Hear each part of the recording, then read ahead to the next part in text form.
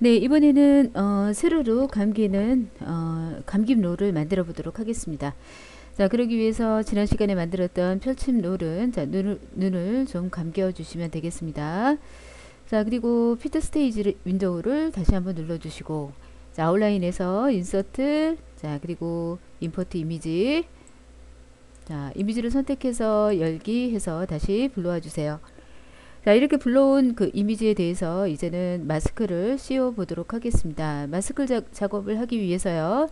어, 직사각형을 선택을 하고 그리고 자 여기 씬에서는 아웃라인에 여기 그 그림이 선택되어 있는 게 아니라 어, 씬을 선택한 다음 자 솔리드로 이렇게 바꿔 주시고 나서 어, 그림이 가려질 수 있도록 다시 한번 도형을 그리도록 하겠습니다. 자 이렇게 좀 그려주세요. 이렇게 다시 그려주시고 여기까지 이렇게 삐져나와도 상관이 없어요. 이렇게 그려주세요. 자, 근데 이제 아래쪽은 라인이 좀 맞을 수 있도록 자, 이렇게 좀 그려주시고 자, 그 다음에 자, 이제 이 그 도형이 자, 이 도형이 어, 자, 이제는 어, 150번 프레임에서 어, 점점 작아져서 자, 이렇게 축소가 되는 것으로 어, 감기는 효과를 내야 되겠죠? 자, 그래서 이 도형을 선택하고 이 도형에 자 여기 이거 좀 눌러주고요. Transform tool을 좀 눌러주시고 그 다음에 어, 자 움직임을 주기 위해서 우리 150번 프레임에서 더블 클릭하신 다음에 자 얘를 어, 이렇게 올려주셔야 되겠죠. 이렇게 올려주세요. 올려서 자 여기 라인 있는 위쪽 상단에 맞춰주시면 자 얘가 이렇게 어, 어, 감긴 면이 되겠습니다. 감기는 면이 돼요. 자, 플레이를 누르게 되면 자, 이렇게 감겨져서 자, 올라가는 것을 표현을 하게 됩니다. 여기까지 잘하셨죠? 정지 눌러주시고 자 그리고 나서 이제 마스크를 씌우기 위해서 두 개를 선택하신 다음에 마우스 오른쪽 Grouping Group as Movie Clip 하셔서 어, 자 요거 좀 안 내려놨네요. 또 제가 까먹었죠? 자 내려놓으시고요. 나중에 내리셔도 돼요. 그리고 여기서 마스크를 또 씌워주시면 되겠습니다. 이제 플레이를 누르면 이렇게 한쪽에서는 올라가는 것을 표현하고 있지요. 이렇게 이제 어, 여기는 뭐예요? 감김 면이 되겠습니다. 자, 이제는 감김 롤을 만들기 위해서 자, 이제 그 다시 한번 직삭 어, 자 우리 어, 다시 한번 C를 선택을 하고요. 어, 그림을 대칭된 그림을 또 불러 오셔야 되겠죠. 자, 그래서 인서트 어, 임포트 이미지 하시고 자 대칭시킬 그림을 선택하고 자 열기 하셔서 불러 오세요.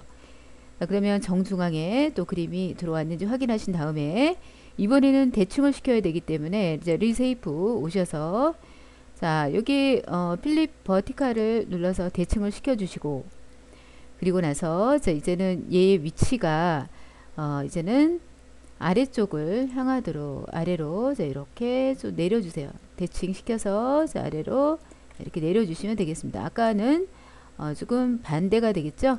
어 자 이렇게 내려주시고요. 자 여기 벌어지지 않도록 잘 맞춰서 자 이렇게 자 그려주시고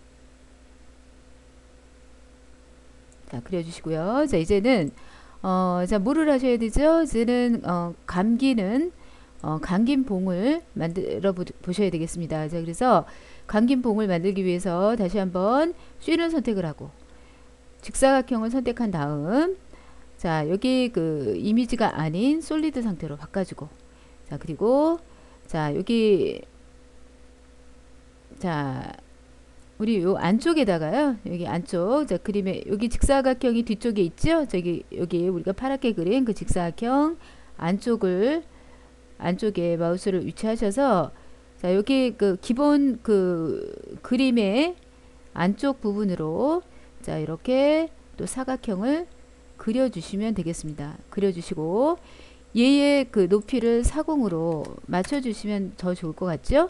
맞춰 주시고 자, 사이, 어, 위치가 좀 잘 안 맞았으면 여기 위치에 잘 맞춰서 자, 이렇게 맞춰주시면 되겠습니다. 자, 만약에 잘 안 맞으면 방향키를 이용해서 자 이렇게 잘 맞춰주시면 되겠습니다. 감긴 봉을 지금 하나 만들었고요. 이 봉에 봉하고 어, 그 다음에 아래쪽에 있는 자, 이 대칭된 이미지에 대해서 움직임을 처리하셔야 되겠습니다. 자, 우선은 자, 여기 아래쪽에 있는 그림에 대해서 150번 프레임을 더블 클릭하시고 자, 움직여주기 위해서 자, 축소를 해서 보시고 난 다음 자, 얘를 좀 눌러 주세요. 얘를 좀 눌러서 얘를 선택된 상태에서 자, 위쪽으로 자, 이동시켜서 이쪽으로 올라가도록 옮겨 주시면 되겠습니다. 얘가 갈때 어, 이 직사각형도 따라가기 위해서 150번 프레임을 더블 클릭하신 다음 자 다시 한번 직사각형을 선택하고 Shift 키 누르고 자 위쪽 상단으로 자 옮겨서 자 이쪽에 놔 주시면 되겠습니다. 자 그리고 자 마스크를 씌우기 위해서요 자 이렇게 들어가셔서 내려 주시고 어, 두 개를 선택하고 마우스 오른쪽 Grouping Group as Movie Clip으로 묶어 주고 마스크를 씌워 준 다음에 자, 이름을 감김봉이라는 이름으로 바꿔 주세요.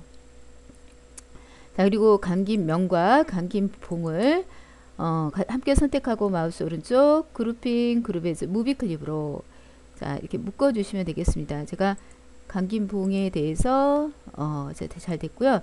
두 개를 선택하고 movie clip으로 묶어 주고 그리고 자, 여기 이름을 감김 롤이라는 이름으로 바꿔주시면 되겠습니다.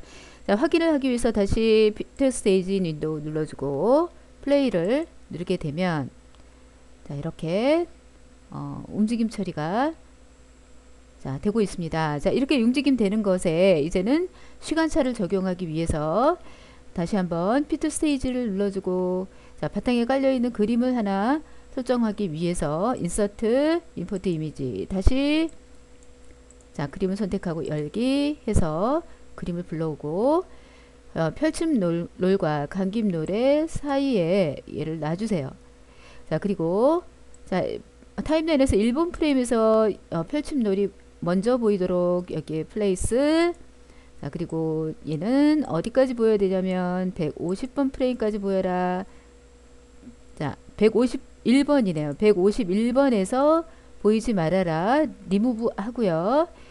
안 보이는 시점에서 깔려 있는 그림이 보이도록 어, 다시 place하고 이 그림은 어, 251번 프레임에서 안 보이도록 지정하고 리무브 넣고 그 다음에 어, 그림이 안 보일 때 다시 나타나야 되는 것은 감김 롤이죠. 감김 롤이 보이도록 설정하고 감김 롤이 어디까지 보이도록 할 거냐면 400프레임까지 보이도록 place 치도록 하겠습니다.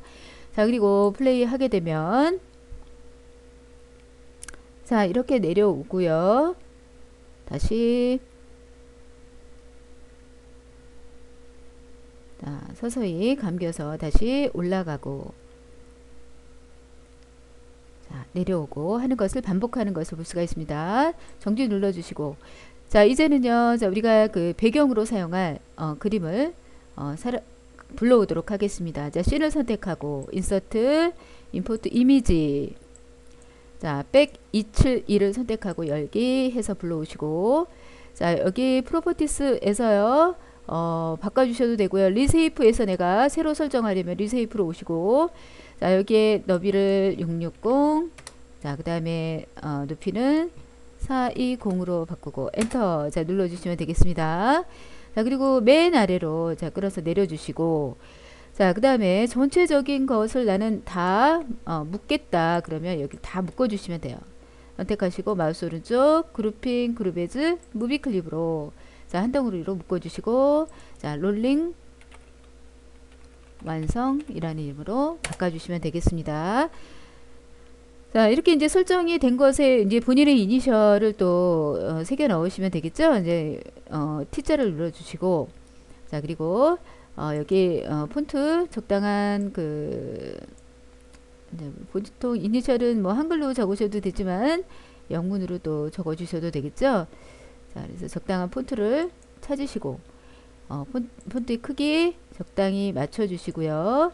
어, 폰트의 색깔을 좀 음, 어, 보기 좋은 색깔로 자 이렇게 변경해 주시고 난 다음에 자, 드래그 하셔서 자, 드래그 하신 다음 자, 여기 edit 누르고 자, 본인의 이니셜을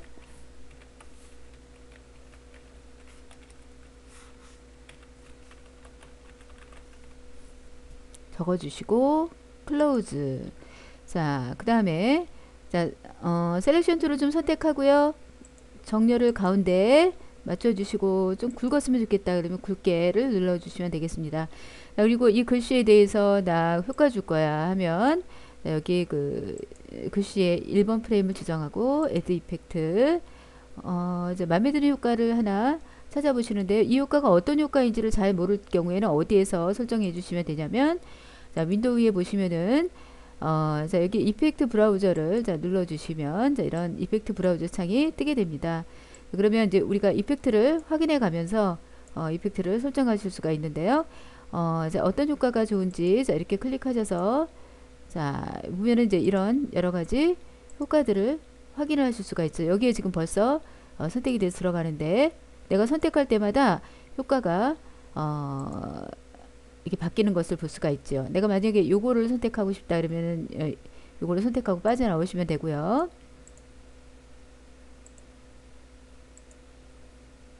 자, 만약에 이제 나 여기 필요 어, 별로 마음에 안 들고 어, 나는 그 코어 이펙트에서 찾을 거야. 그러면 어, 코어 이펙트는 이제 보통 미리 보기를 지원을 안 하네요. 어, 미리 보기를 어, 지원을 안 하고 음, 자, 얘는 좀 어, 이게 그 도는 그런 효과가 되겠습니다. 자, 이게 마음에 드는 걸 좀 찾으세요. 찾으셔가지고요. 네, 날라오는 효과도 있고 어, 디사페어에서 좀 찾아볼까요? 디사페어에서 루핑이나 이런 곳에